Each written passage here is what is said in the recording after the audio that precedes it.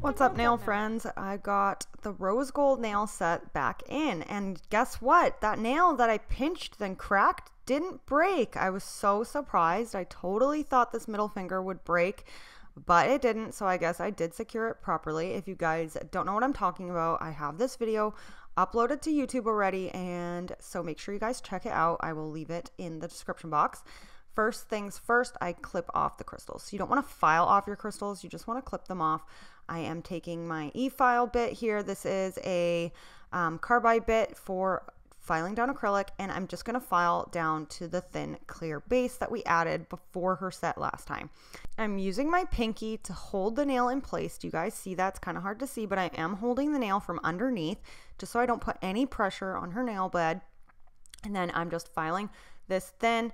I'm going to now use this to shorten the nails and then I'm just going to keep filing. So I'm trying to get down to her nail uh, thin clear base that I had before. I'm not trying to rush the process. This is all in real time. That's how all my YouTube videos have been lately. I'm just doing all real time videos because there's so much short form content. It's really hard to follow along when it's quick and short. So that's why I've been doing these videos for you guys, just to make sure that you can see exactly what I'm doing. Um, I'm just filing each nail down thin and then I'll go back and file more of the product off. But I just kind of go between the nails just so I don't burn my client. Um, so that's what you guys will see here, see me doing here, is going back and forth between the nails, filing thin, and uh, yeah, that's just what I'm doing. File, lift up my file. So every time I go down the nail, I lift up my file. So I'm filing, I lift it up, file, lift, file. So I'm not going up and down because then it'll go and um, skip. So my client sends me ideas ahead of time. So this is what she sent. I thought this would be really uh, easy to, um, what's the word, like recreate because I have really similar products to that. So that's what we're going to do today, but in her shape that she has here. So we're not going to change the shape to that shape. Um, so I am just going to continue on filing these down thin and then we will work on our prep.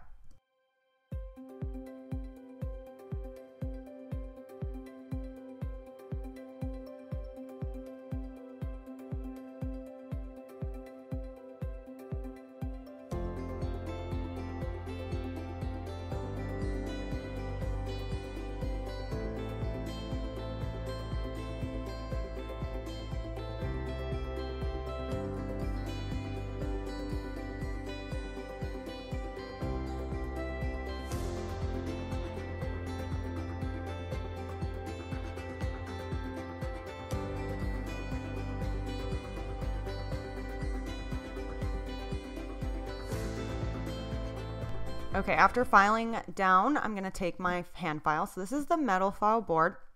I'm going to file up and, and, under the nails. I'm using a 180 grit file for this. Uh, so these are refills that are garbage after. So you place them on your metal file board. And this is a great board for keeping your shape. So if you do like coffin shape or almond uh, coffin shape or tapered square or square nails. It's really great to get that nice sharp shape because it's not as flexible as a hand file. So that's what I'm doing here. I'm just filing the sides up, reshaping the nails before. I like to make sure the shape is nice and even before going in. Um, now we can prep. I'm just prepping the nails. So I'm pushing back the skin. So you're gonna push the cuticle area skin and then we are going to scrape it and then we're going to prep. So uh, you want to make sure that your cuticle area is prepped properly before you apply because you will just have lifting, like lots of lifting. If you don't get all the skin, like look how much skin she has when I scrape that. That all has to go or else she'll have major lifting. So that's what I'm doing here. Just scrape, scrape, scrape. So now I'm taking this bit. This is from Erica's ATA. I'm going around the cuticle area with this to get all that skin off. This is a really gentle bit. I really, really like using this to get that uh, nail uh, skin off there. Going around. I'm just using this uh, on the on a, like a slow kind of speed. I want to show you guys what speed I use because I get asked that a lot, but my e-file doesn't have the speed listed on it. It just has a dial um, so I, I will try to show you guys the dial soon and what I'm doing, but I keep forgetting to do that. Um, this is a bit that's for the cuticle area. It just kind of pushes the skin out of the way, which will help for when I am applying. I want no skin or anything in my way, no dust or debris. That's why I'm scrub, scrub, scrub with a scrub brush here and some alcohol. I filed her nails as thin as I could while leaving my clear base. There's a little bit of product left behind, but you're not going to see that with what I'm going to do on top. Now I'm applying some dehydrator at the cuticle area and primer, and then we can go in with application. So the color I picked that was similar to the photo is called Victoria. It is a bright, pretty pink with flakies in it. It is super, super nice.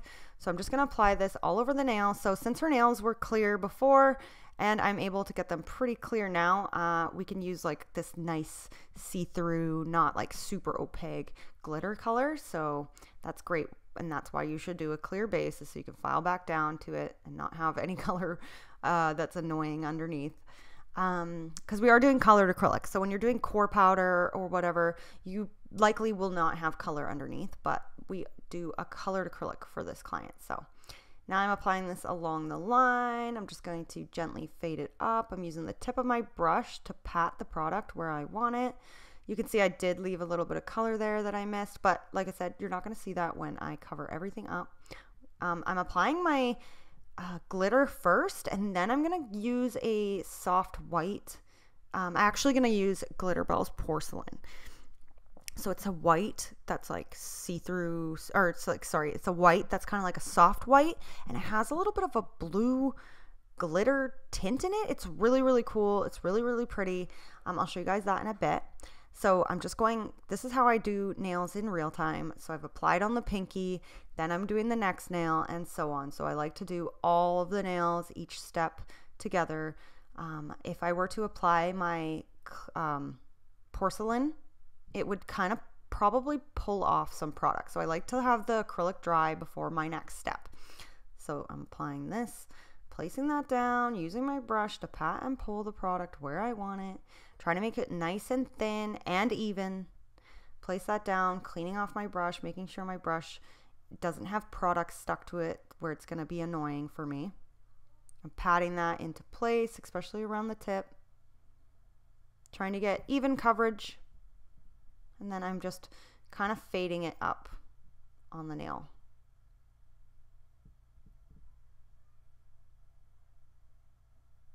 I'm going to pick up a little bit more, place that down because there's a little bit of a missing spot there. See, if you play with it too much, you'll move the product. So I did move the product out of where I wanted it. So now I'm just patting it into place, trying to make it nice and even and thin. And then when I get it where I want it, I stop touching it until it dries you guys will watch me sit here and pat this into place for a while because um, it wasn't thin enough and it wasn't like going exactly where I wanted it. So I'm just sitting there patting and patting and patting, trying to make the product go exactly where I want it at the tip. And uh, yeah, that's what I'm doing here, pushing and patting. Um, and then when I'm done this nail, I will work on the next nail. I do cut out a little bit of the video because every nail is basically the same until we get to the foil part. Um, yeah, so that's what I'm doing here. Still padding this. As you can see, I'm really just padding, padding, trying to get it exactly where I want it. The, I don't want any pieces sticking up, so I'm trying to make them nice and flat. As you can see, I just left a little piece there. After all that work of patting that into place, I left a tiny piece on the tip. So annoying. So now I'm going in, applying a bigger bead, wiping off my brush, and then moving the product where I want it, wiping off my brush, pushing up, and then I'm going to pull the product and pat and pull the product down the nail. Some glitters are a little bit more difficult to work with. I wouldn't say this is a difficult glitter, but it's just not as it's just it just seems to be coming up on my brush really easily for some reason and and like it's it's a see-through color. So uh, it does kind of you keep pulling it off. Look right there. It's just like missing product. I was like, what is going on? But um, anyways, so I'm just patting that into place, trying to get it even coverage. I think um, I think my the way I filed, I left like some like how to say it, like ridges in my clear base under there. And the product was kind of coming out of that, if you know what I mean. It's kind of hard to explain. But that's okay because I'm gonna, it's gonna end up turning out good in the end. So I'm placing that, flipping my brush upside down and pulling that up. Trying to make this nice and even, patting and pulling. And then we're gonna skip oh the last two nails because it's all the same. And now we're picking up our porcelain. I'm placing that down along the line. So this is where the product, the first bead was. And now I'm just placing that, trying to get even coverage on the sides. And then I'm gently feathering with my brush the product down the pink to kind of cover it a bit. So it's kind of foggy, but I don't want it to go all the way to the tip. I just want it to go halfway down. So I'm going to apply that, leave that, and then I'll come back to it. So that's kind of what I do on every set. I kind of just go back and forth between the nails, let the product dry before moving forward. And here I am placing that down, wiping off my brush, patting that and pushing it into the side area on both sides before I fade it down. Fade, wipe off my brush, fade, wipe brush. And you can see I'm not trying to cover the whole nail. I'm just trying to get it to blend a little bit. Blend, blend, blend and then next nail. And then I will do my cuticle bead after I have done the rest of this. So again, place that down, wipe off my brush. I'm just pushing into it, getting the sides first, and then fade down. Push the side, fade, fade, wipe. And I'm wiping off my brush a lot, just so nothing sticks to my brush, just so I have no monomer in my brush and stuff like that. So that's how that looks. The first two nails were a little blurry when I was applying my cuticle bead, so I just removed it. And now we're gonna go in, I'm gonna place my bead down. I leave a big gap between the product and the cuticle area, and then I use my brush to push the product as close as I can to the cuticle area without overlapping the skin. I get my cuticle bead in, and then I fade the product down the nail. I want this to be even and then I will show you guys that again on this nail. So again, I'm going to, everything's dry, which means no product will get pulled off the nail. So apply that down, leaving a space, cleaning off my brush, pushing up towards the cuticle area. Make sure you never overlap the skin. That will lift if you overlap the skin. Try to get close to the cuticle area, then fade down, wiping off your brush with each fade, getting into that side. If you overlap, quickly clean it off and then blend that down the nail.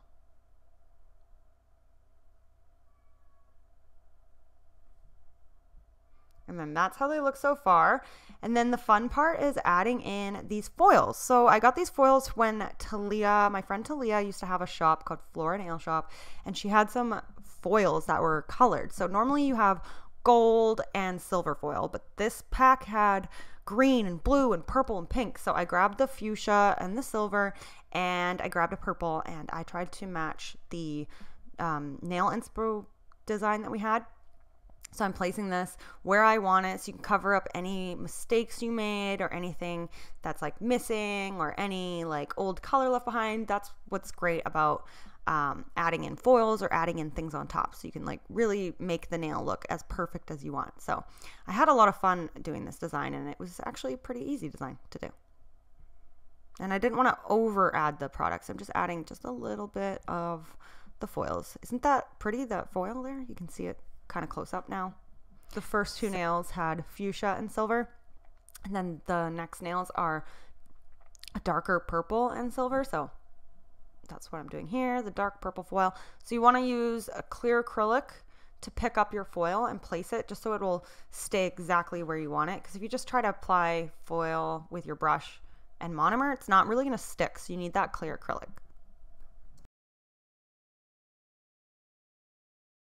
So here's what that looks like so far. The set is already turning out so cute and now we can encapsulate everything. So I'm taking my clear acrylic, placing that down, just on the tip. So since these are extra long, um, I don't apply at the cuticle area to start. I always want to get my tip done first because I like a nice even tip. Nothing is worse than when your tip is like doesn't have enough product on it and then you file into it or it's not shaped correctly. So I always apply my bead at the tip first. I pat and pull the product down the nail and then I try to get even as even as I possibly can at the very very tip of that nail. So after I encapsulate that part, I'm going to go in at my cuticle bead. Again, I'm placing it further back, wiping off my brush, pulling her skin so that I can get in close. I'm just using the tip of my brush to push the product where I want it and then fading it down. So again, like when I was doing the tip, I don't add more product. I don't want to uh, like pull more product off. So I'm not going to create, I'm either not going to create the apex yet or I added enough product that that created the apex. I end up looking at it after I'm done the nails on the one hand and then I add um, more product where needed. So I just like to fully encapsulate everything and then I worry about my apex after just so I can get everything nice and even and not pull off product and not waste time. So that's what I'm doing. I'm applying it at the tip first, patting and pulling into place. And then I'll go in again with my cuticle bead. And then, like I said, add my apex after. So you guys can just watch along and then we will finish file.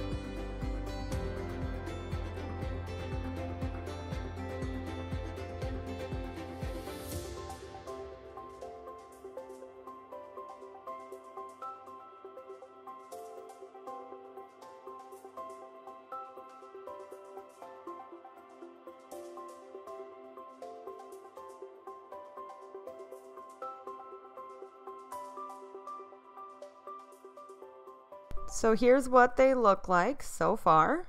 I love them. Here's what both hands look like when they're done. And now we can finish file.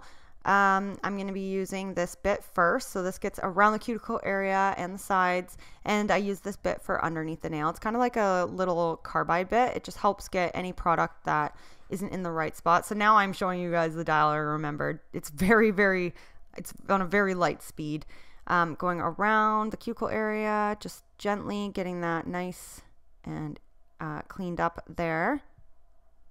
And do this on all of the nails.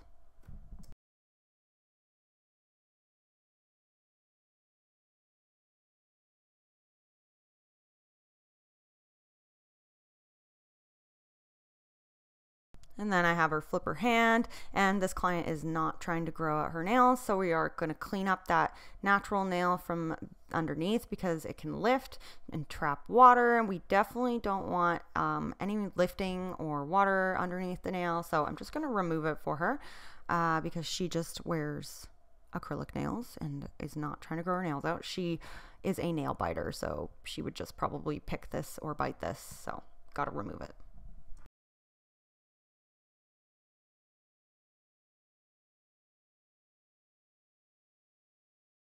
And then we're going to go um, in with a carbide bit. So this is a medium carbide. I don't like to use anything too, you know, um, coarse because I'm just doing some debulking with this. So around the cuticle areas when I use the tip, and then I'm just using the belly of the carbide to file the rest of the nail. And I have it pulled out. You can see I'm, it's pulled out of my e-file because these nails are extra long. So I don't have it all the way to the end of the e-file. It's kind of pulled out a little bit. And I'm using this to go up and under, around the cuticle area, over the apex. I don't want to remove product from my apex. I really am not trying to remove a lot of product. I'm just debulking so it's easier when hand filing because you don't want to hand file everything or you will hurt your wrists. And you know, this is a long career. You don't want sore wrists. You don't want to get carpal tunnel and or anything like that. So definitely use if you know how to use an e-file, definitely use your e-file to debulk first.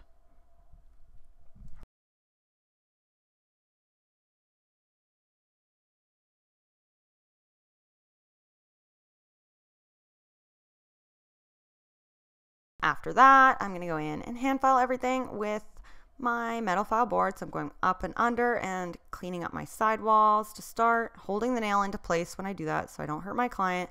And then I'm going to go around the cuticle area and just file everything by hand. Um, and that way I can get everything exactly how I want it and I kind of have a lot more control. I'm going to hold her nail while I go up and down at the tip. This will create that nice, sharp, um, straight tip. And then I'm holding her nail, going around the cuticle area. Again, I'm trying not to take too much product off, especially at the apex. I'm just trying to even everything out so it's nice and even and clean for for top coat at the end.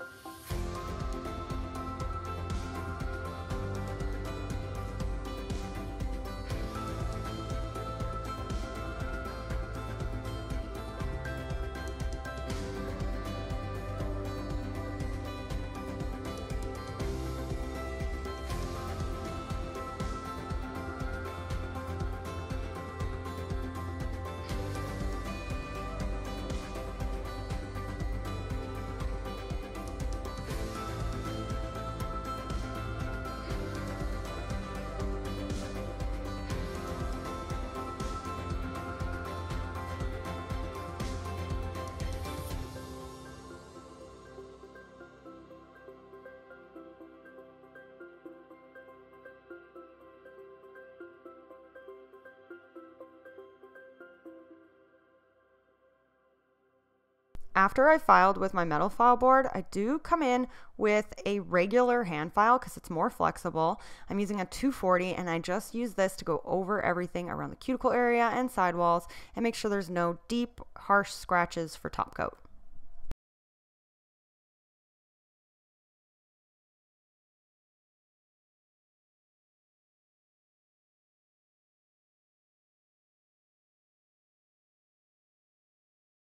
I buffed everything and now I'm going to cleanse again using a dust brush and some alcohol. I'm really going to cleanse really, really well, especially at the cuticle area underneath the nails and trying to get any of the dust off the nails for um, top coat. And then I sit there and I check the lengths to make sure that they're all the same. And then I finish file like any kind of anything that needs filing. So um, that's what they look like so far. And then we can go ahead and top coat everything. So she didn't want crystals because she just didn't this time. And the set turned out like really nice and they didn't need crystals. So I'm going to be using my Glitterbels No Wipe Top Coat. Um, I'm going at the cuticle area, doing all of the nail first, and then I'm using my finger to kind of make sure that there's no product that seeped on the side of her nails because that will make them bulkier and add thickness, which we definitely don't want. We want them nice and thin and even. So I'm going around, and then I'm going to use my finger to clean it all up underneath. But make sure you're wearing gloves. Make sure you're wearing gloves when you do this. You don't want to touch product ever with your natural nails or natural skin or fingers. Make sure you're always wearing gloves. Um, I so I did the two nails since her nails are extra long. I just want to show you guys this. Uh, I don't want to bump anything or have the product, like I said, seep into the sides or anything. So I did two nails, had her cure that, and then I will do two nails on this hand, have her cure that, and then you know what I mean. I go back and forth because I just don't want any extra thickness, and I really really like this set. And so yeah, so here I am wipe. Making sure I got that um, nice and even. I'm using my own finger. Do you guys see my fingers touching my other finger? That's for support. I'm using my finger for support because her nails are extra long. So I'm going to do that. Cured that. Now I'm coming in and finishing off my top coat. And I'm going to do that on both hands. And then after all that, we're going to cuticle oil.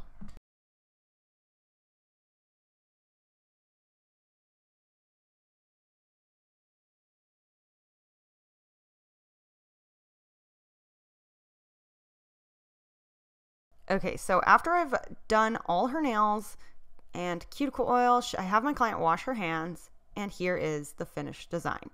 What do you guys think? I'll show you guys how thick they are, just so you can see that they're not super thick. So when you're doing nails, they should be about credit card thickness. Um, they, when you're applying, it might look like I'm applying a lot of product, but I'm just doing an encapsulation and creating an apex, the thickness should be credit card thick and your client should have a C curve. So it will be nice and strong. So this is how they turned out. And then I'll show you guys what they look like outside in natural light. I really, really like the set. Let me know what you guys think below. I'm going to have her in this week, so I'll probably film her next set.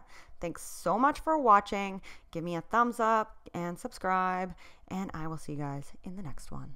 Bye.